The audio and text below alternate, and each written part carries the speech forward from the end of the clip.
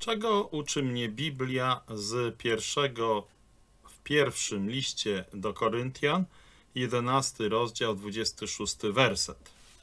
Albowiem ilekroć będziecie jeść ten chleb i ten kubek będziecie pić, śmierć pańską opowiadać będziecie, aż przyjdzie. Pierwszy list do Koryntian 11:26. Ten werset opisuje pamiątkę, którą Chrystus nam zostawił. Ustanowienie wieczerzy pańskiej musi być uważane przez każdego duchowego człowieka za szczególnie wzruszający dowód pańskiej łaskawej opieki i troskliwej miłości dla jego kościoła.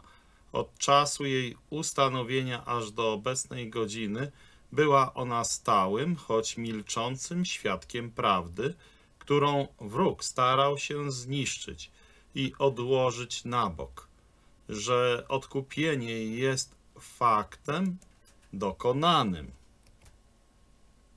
z którego może korzystać najsłabszy wierzący w Pana Jezusa Chrystusa. Wieki upłynęły od czasu, gdy Pan Jezus Chrystus ustanowił chleb i kubek. Pomimo wszystkich herezji, wszystkich schizm, wszystkich kontrowersji i sporów, ta najbardziej wyrazista instytucja była przestrzegana przez świętych Bożych w każdym wieku.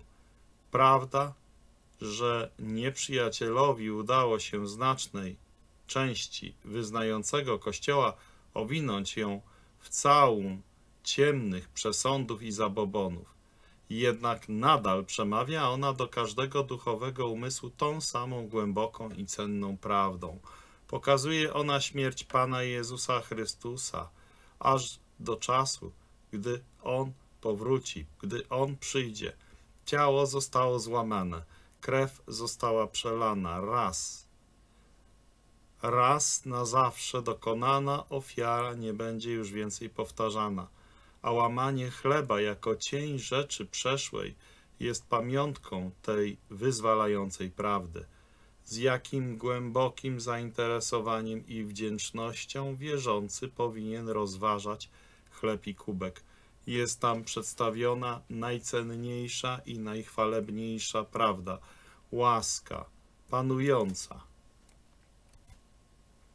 Odkupienie zakończone, grzech zgładzony, wieczna sprawiedliwość wprowadzona, odeszło żądło śmierci, wieczna chwała zapewniona, łaska i chwała objawiona jako wolny dar Boży oraz jedność jednego ciała.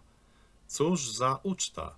Przenosi ona duszę przeszłość i pokazuje nam samego Mistrza, Pana Jezusa Chrystusa, który tej samej nocy kiedy został zdradzony, zajął miejsce przy stole wieczerzy i tam ustanowił ucztę, która od tej pamiętnej nocy aż do świtu poranka powinna prowadzić każde wierzące serce, jednocześnie wstecz do krzyża i naprzód do chwały.